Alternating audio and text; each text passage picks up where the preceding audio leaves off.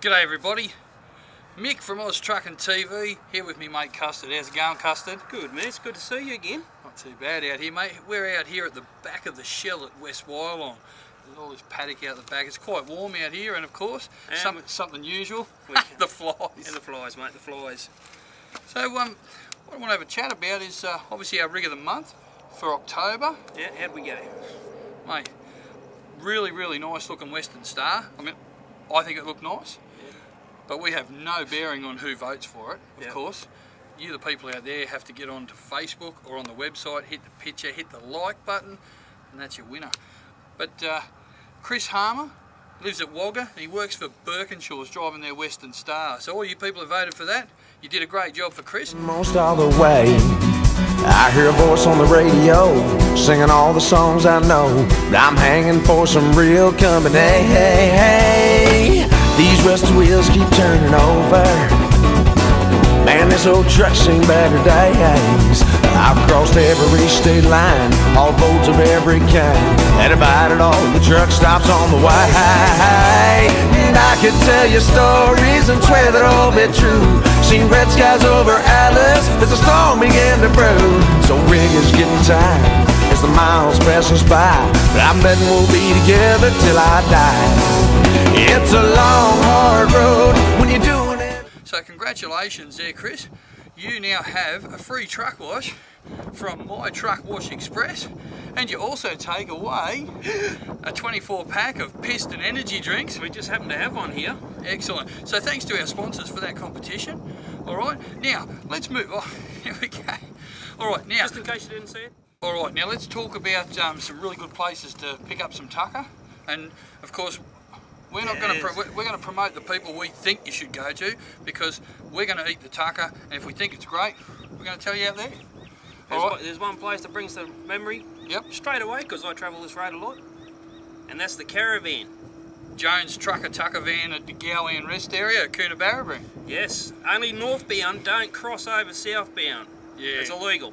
it is, and and I guess uh, Joan doesn't need the drama either. That's right. Still on a four-month trial. Yeah. And uh, of course, that won't be a trial as long as we keep turning up and filling out the survey form there and give her all positive feedback. Okay. And of course, there is another place. Anyway, say good day to Joan when you get out there. Tell her Mick and Custard said good day, even though we're there most of the time. Every three days. Now, obviously, because most of the time I'm sort of out in the front road and on the back road, Pacific or the Newell. Uh, one that I like is uh, the Grafton Transit Centre. So how is that Pacific Oz? Uh, yeah, look, it has its moments, that's for sure, uh, as a few of our driving uh, community know. Yeah. Now, the, the Grafton Transit Centre, uh, a few people would know in the last couple of months, is So under new Grafton management. Transit Centre, that's the BP, just That's- coming in, As you're coming into Grafton, where the BP is, it's the diner right beside it. right? Now, for the, in the last couple of months, it's gone under new management, which obviously means a new attitude. And the tucker, mate, the tucker is great. I got, uh, I had a chicken schnitzel and salad and chips there the other night. Uh, last week I had uh, a mixed grill, unbelievable. And of course, you've seen the picture of the burger, Boy, that burger. unbelievable. So, I was nearly again- ready to eat me fine. yeah, exactly. Look, so when you go to the Grafton Transit Centre, don't forget to say hello to Joe and the girls and tell them Mick from Oz Trucking TV sent you because Custard sort of stays out in this road. So when you go and see Joan at Joan's Trucker Tucker van, tell them Custard sent you. Sounds fair. Now listen, That sounds pretty damn good, Mick. High five. all right, now listen, we always sit there and whinge on the UHF about car drivers and stuff like that. Ah, yeah. Now, Yeah, I yeah, hear it all the time, but just get a bag of cement and harden up. well, look, I've got to give a bit of a thumbs up for some people we met today towing a van. Oh, top people. Uh, Met them at Parkes. Kim and Kerry, uh, they've got a, a four-wheel drive, a Toyota Land Cruiser four-wheel drive, and uh, it's a bloody large caravan. Uh, first thing I said to Custard when I seen it parked there in, in Parkes, because we went and done a bit of shopping, I said, look at this, this is set up perfectly. It was dead flat.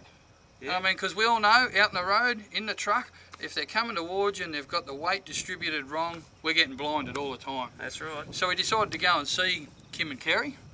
And we give them a thumbs up. We told them we're quite impressed with their unit and the way it was set up because, uh, you know, it's, it's not very often you see it. But I tell you what, though, I did ask him how long that caravan was. Yeah, how long was it?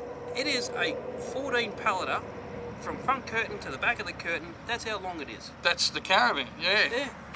Uh, So- that- that is long, but they've done their homework on it, and it rides beautiful because we followed them. Yep, yep. So, um, big thumbs up to Kim and Kerry. And look, they're always on the UHF. They spoke to us a couple of times as we were travelling, but not annoying. Um, just paying attention to what was going on.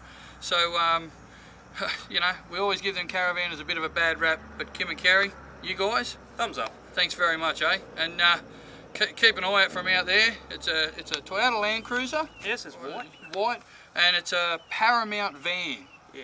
And um, you know, just have a chat to them on there because uh, we've got to give them people a good rap when they're doing the right thing. Yeah, they don't, they don't have their name on the back of the caravan yet because it's only new. Yeah, well, that's about their fourth van, didn't he say? Yeah, fourth van. So you know, like they're fairly into it. Like on the other side of things, uh, people out there, if you're not truckies and you are watching the video, when you're towing a van, get your weight distribution right because if you're too low in the back end, it's going to reduce your braking at the front, the weight on the front. I mean, we not we might not be experts out in the field in those sort of areas, but driving trucks, we've got to distribute the weight and get the weights right. So I think that sort of experience counts for something. Yeah, and there's nothing worse than you might be on low beam, but we think you're on high beam because your car's pointing upwards and we flash our lights at you and we're all blind. Yeah, exactly right. So just a couple of tips there for the people who aren't truckies and out there towing a caravan. It's not a yeah. Look, I mean, we got to we have to we're professional drivers and we're driving heavy vehicles. Um, sometimes a caravan is very similar like that. You really need to know what you're dealing with. Anyway, But if you do see us coming up in the mirror, d- don't panic because we will slow down and make the right move. yeah, exactly right. All right, ladies and gentlemen, and boys and girls. Again, we'll be at a different location, no doubt, when we do the next video. Yeah. But it's been a pleasure catching up with Custard again, as usual. So uh, we're going to hit the hit the road again soon, and uh, he's going to head to Melbourne. I'm going to head to Wodonga. Ah, And uh, three quarter man. three quarter. That's me. Anyway, uh, look, you guys take care out there, and um, we've rabbled on enough. Yeah. But remember, fatigue affects everybody, not just truckies. See ya. Hooroo.